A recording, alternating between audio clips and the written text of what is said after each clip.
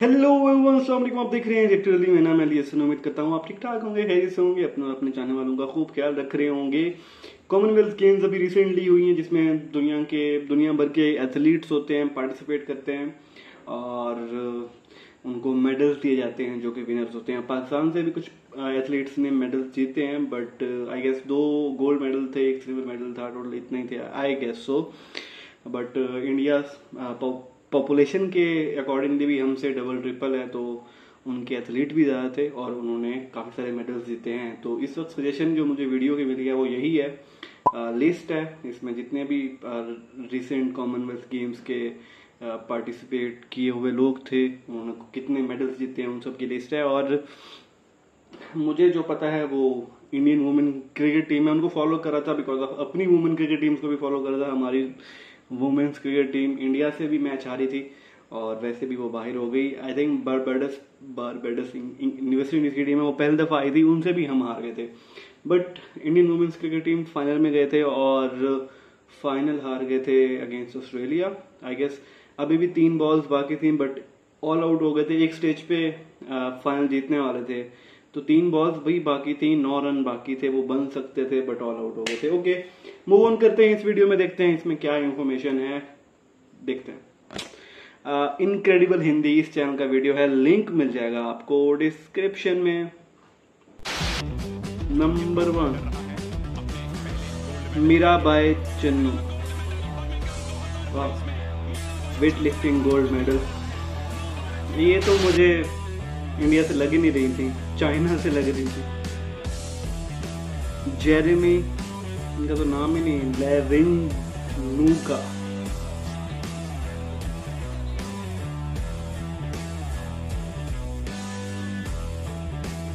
ये इंडिया के किस पार्ट से ये सारे ही वेट लिफ्टिंग के गोल्ड मेडलिस्ट इनका कौन सा मेडल gold.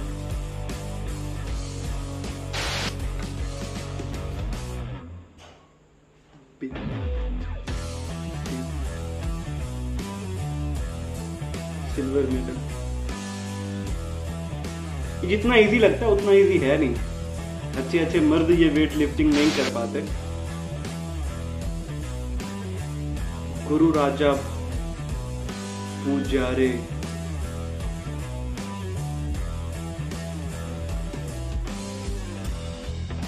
bronze medal.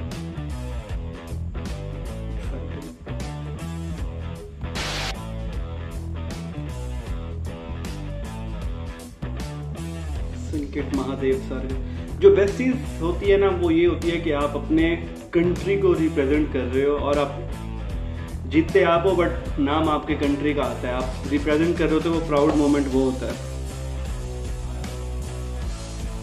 और जीतने के बाद आपके कंट्री का नेशनल एंथम भी क्राउड में प्ले किया जाता है तो वो गूजबम्स देता है। Sushila Devi. In judo judo karate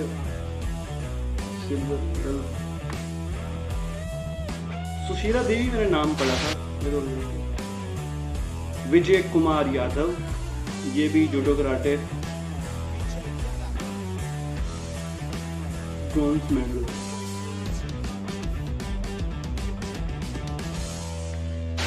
Number nine Harjinder Kaur ये पंजाब से लग रही है।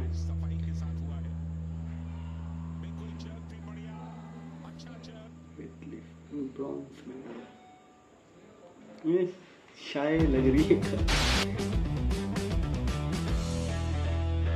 इंडियन लॉन बॉल ये कौन सी गेम है? आई मीन देखने में काफ़ी इजी लग रही थी। गोल्ड मेडल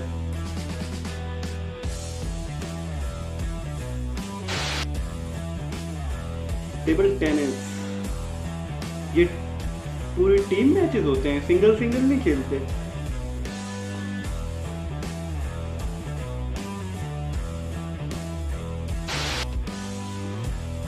विकास ठाकुर वेट लिफ्टिंग में सिल्वर। वेट लिफ्टिंग में हमारे गोल्ड मेडलिस्ट थे पाकिस्तान के। बट, उनके सरनेम बट था, पूरा नाम भूल गया हूँ। Mix team. Badminton silver medal.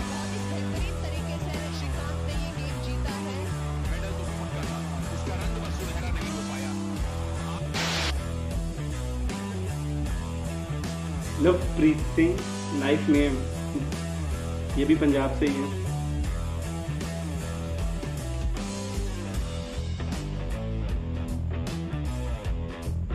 साथ में क्या ट्रॉफी एक अजीब सी Saurabh Gosha Gosa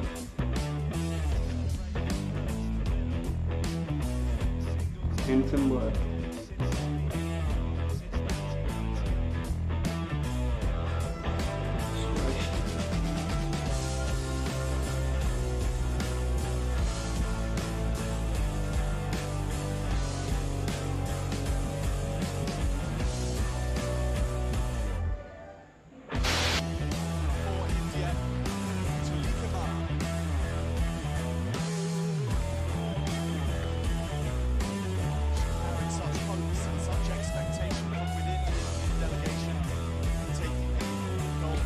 judo karate silver medal.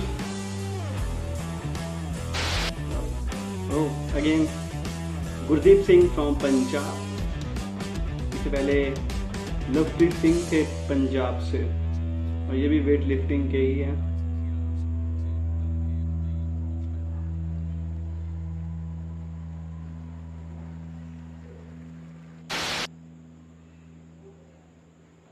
Running है ये तो है ना? कि ओ अच्छा इसको बोलते क्या है ये बहुत मुश्किल गेम है।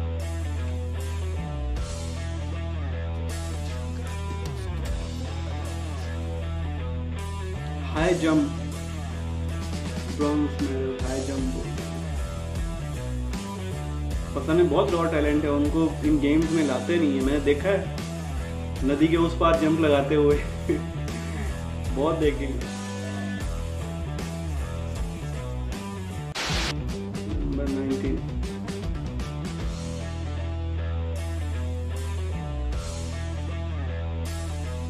फुर्ती देख रहे हो लड़के की? ओ हो लॉन्ग जंप है ये भी।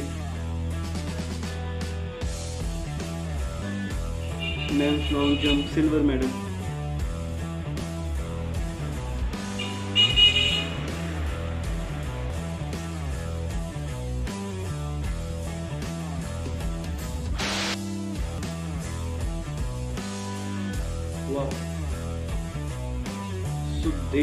ये काफ़ी ज़्यादा वेट है।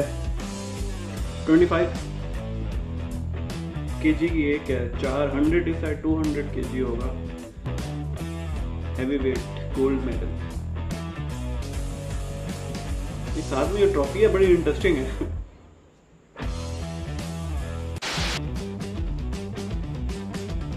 मोहित गेरेवाल ग्रीन वाले पाकिस्तानी नहीं टैटो वगैरह नहीं होते हमारे।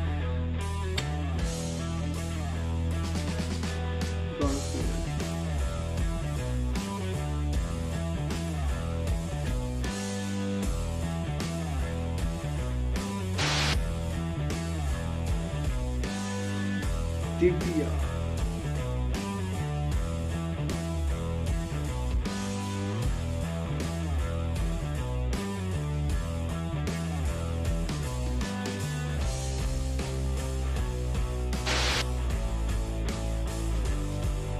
Wushu.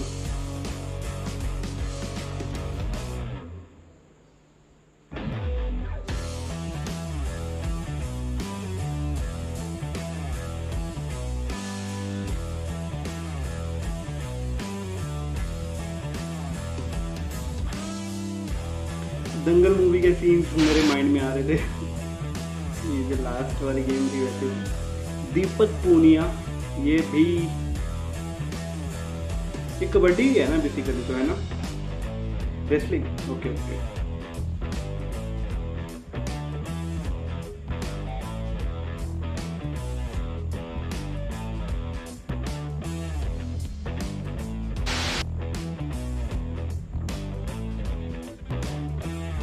Bajrang Punia इसे पहले दीपक पूनिया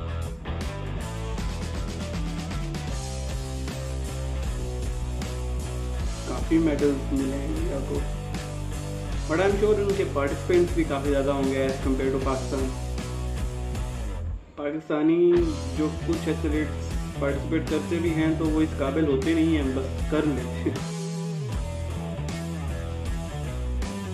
तो साथ में पाकिस्तानी खड़े थे तो नहीं कौन सा मेडल था उनका? साक्षी मलिक।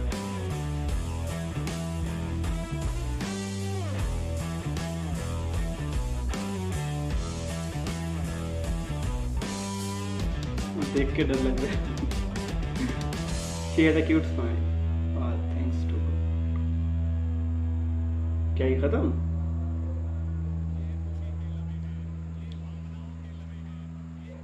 इमोशनल मोमेंट था। यार, इसमें Indian cricket women's cricket team को तो डाल देते आप लोग। होना चाहिए था ना? ओके सारे ही प्राउड मोमेंट से ये सारे एथलीट्स कई महीनों की प्रैक्टिस करते हैं खुद को तैयार करते हैं इन इवेंट्स के लिए। और देखने में जितना इजी लग रहा होता है इतना इजी बिल्कुल भी नहीं होता। ये हर किसी के बस की बात है ही नहीं। और जितनी आ, फीमेल पार्टिसिपेंट्स हैं और जिन्होंने गोल्ड मेडल जीता है अपने कंट्री के लिए उन सबको तो सैल्यूट है। और पाकिस्तान में तो अभी तक यही इशू है कि हमारी जो गर्ल्स हैं उनको इतनी ज़्यादा अपॉर्चुनिटीज़ मिलती नहीं है। उनकी अपनी फैमिली उनके लिए इतना सपोर्टिव होती नहीं है। उनको घर संभालने की हद तक रखा जाता है। अगर अगर उनके अंदर कोई टैलेंट भी है ना तो वो आ, आगे दुनिया तक जा ही नहीं पाता। यही वजह है हमारी अगर मैं वुमेंस क्रिकेट टीम की बात करूँ तो। जो सबसे बड़ा इशू ये है कि हमारे पास डोमेस्टिक में भी वुमेन्स क्रिकेट टीम में इतने कोई अच्छे प्लेयर्स हैं ही नहीं। बिकॉज़ हमारे पाकिस्तान में आ, लोग अपनी बेटियों को परमिशन देते ही नहीं है क्रिकेट खेलने की तो वो जो खेल रही होती हैं, वो भी बहुत गिनी चुनी होती हैं। तो इसलिए उन, वो हार जाती हैं बट मेरे लिए रिस्पेक्ट है कि उन, उनके लिए मेरे अंदर रिस्पेक्ट है कि वो एटलीस्ट अब मैं जब मैचेस देख रहा होता हूँ जो उनका पोटेंशियल होता है, वो उसके अकॉर्डिंगली अपना हंड्रेड परसेंट दे रही होती हैं। वो पाकिस्तान के लिए लड़ रही होती हैं बट वो वो जो टैलेंट है, वो इनफ ही नहीं है। जो बाकी की टीम्स हैं वो बहुत कॉम्पिटिटिव है हमारी टीम से। तो अब यही उसका क्या रीज़न हो सकता है? वो यही है कि हमारे पास लोकली इतना ज़्यादा टैलेंट वुमेंस में है ही नहीं।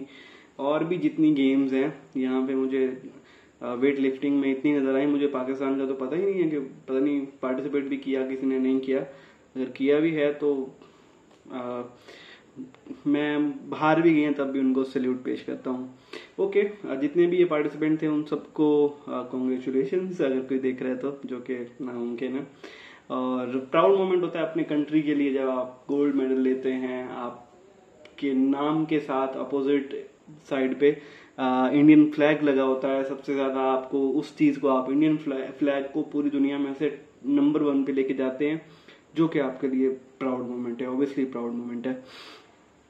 हाँ मैंने आपको बताया कि पाकिस्तान इवन जो मेल एथलीट्स हैं, मैं उनकी भी अगर आपको थोड़ा सा बैकग्राउंड बताऊँ तो हमारे पास स्पोर्ट्स में क्रिकेट ही ऐसा खेल बच चुका है जिसके जिसके लिए अब हमारे पास, अब वो भी अब प्रॉपर प्लेटफॉर्म्स हैं। बच्चों को क्लब क्रिकेट से अपॉर्चुनिटीज़ मिलती हैं, आगे आने में काफ़ी जल्दी आ सकते हैं बट उसके अलावा जितने भी स्पोर्ट्स हैं वो सारे डेड स्पोर्ट्स हैं, कोई बहुत ही इनक्रेडिबल टैलेंट खुद से एफर्ट्स करके आगे आता है और वो पाकिस्तान को जितवाता है, वरना कोई इतने ज़्यादा कोचेज नहीं है, कोई इतनी ज़्यादा ट्रेनिंग्स नहीं मिलती उनको, ऐसा कुछ भी नहीं है। अब मैंने अरशद नदीम की बात की थी, उन्होंने जेवलिन थ्रो में हमें गोल्ड मेडल जितवाया और वो रिकॉर्ड था 90 मीटर से अबव उन्होंने फेंका था और वो हाईएस्ट था अब तक का। मैं नीरज चोपड़ा की बात कर रहा था, उनका भी रिकॉर्ड उन्होंने ब्रेक किया था। लेकिन अगर मैं हिस्ट्री की बात करूँ आई गेस ये मियाँ वाली के हैं। एक गवर्नमेंट स्कूल में वो खुद से ट्रेनिंग करते रहते थे।